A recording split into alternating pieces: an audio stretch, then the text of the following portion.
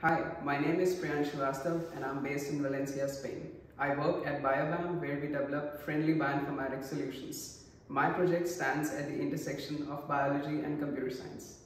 Single cell technology has become the preferred method to study cellular mechanisms because it allows the sequencing of genetic material in individual cells which helps uncover biological differences among them. However, genomic sequencing produces datasets with high complexity and size comparable to astronomical data. Especially single-cell RNA-seq data is not only computationally challenging to analyze but also hard to draw insights from.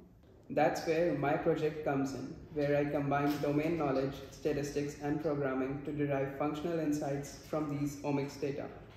As a member of Intercept MDS, I am predominantly involved in developing new tools for single-cell RNA-seq data, working closely with Professor Ana Conesa from Spanish National Research Council.